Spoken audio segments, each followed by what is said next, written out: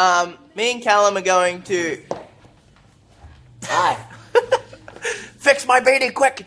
We're going to songwriting today, and uh, we're writing with Mike from uh, Lower Than Atlantis.